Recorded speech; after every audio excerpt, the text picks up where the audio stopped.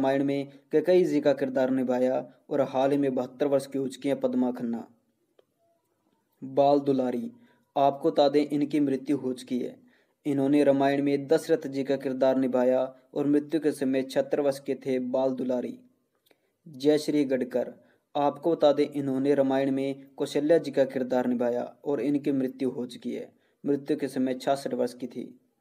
विजय कविश, आपको बता दें इनकी भी मृत्यु हो चुकी है। रामायण में इन्होंने भगवान शिव जी का किरदार निभाया और मृत्यु के समय अठासी वर्ष के थे।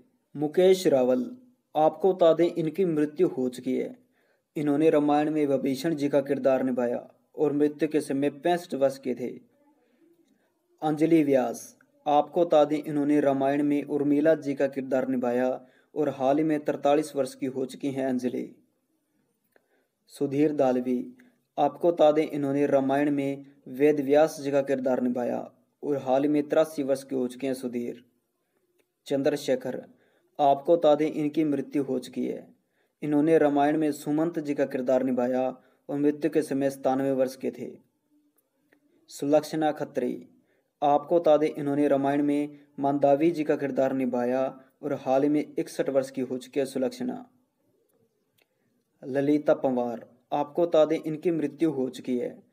इन्होंने रामायण में मंथरा जी का किरदार निभाया और मृत्यु के समय इक्यासी वर्ष की थी। रजनी बाला, आपको बता दें, इनकी मृत्यु हो चुकी है। रामायण में इन्होंने सुमित्रा जी का किरदार निभाया और मृत्यु के समय छत्तीस वर्ष की थी। सपिल जोशी, आपको बता दें, इन्होंने रामायण में खुश जी का किरदार निभाया और हाल में पैंतालीस वर्ष के हो चुके हैं सपिल। नलिन दावी, आपको बता दें, इनकी मृत्यु हो चुकी है। रामायण में इन्होंने कुंभकर्ण जी का किरदार निभाया और मृत्यु के समय पचास वर्ष के थे।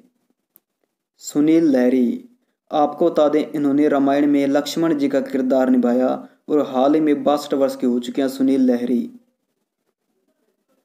अरुण गोविल, आपको बता दें, इन्होंने रामायण में श्री राम जी का किरदार निभाया और हाल में पैंसठ वर्ष के हो चुके हैं अरुण गोविल। दीपिका चिखलिया आपको बता दें, इन्होंने रामायण में माता सीता जी का किरदार निभाया और हाल ही में सत्तावन वर्ष की हो चुकी हैं। श्याम सुंदर कलानी आपको बता दें, इनकी